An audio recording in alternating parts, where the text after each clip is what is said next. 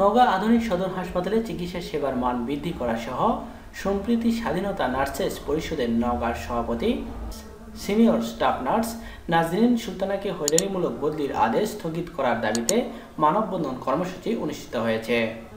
আজ বৃহস্পতিবার সকাল সাড়ে এগারোটায় শহরের মুক্তির মোড়ে কেন্দ্রীয় শহীদ মিনারের সামনে বাংলাদেশ সংযুক্ত চুমিক ফেডারেশন নওগাঁ জেলা শাখা, জেলা ধান্য বয়লার চুমিক ইউনিয়ন ও সুশাসনের জন্য নাগরিক সুজনের উদ্যোগে এ কর্মসূচি পালিত হয়।